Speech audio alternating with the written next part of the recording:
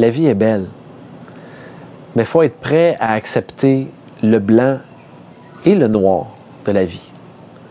Tu ne peux pas seulement vivre le beau puis dire que c'est extraordinaire. à partir du moment où tu as une épreuve, une difficulté, dire que la vie, c'est de la merde. c'est pas comme ça que ça fonctionne.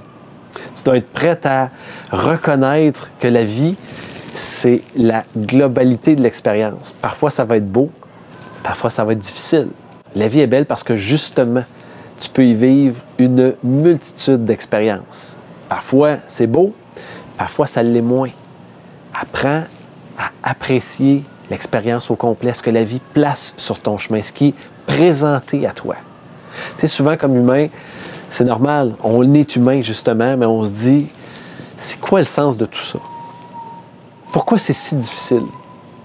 Pourquoi est-ce qu'il faut que je souffre? Pourquoi il y a de la douleur? Je pourrais pas juste être en paix.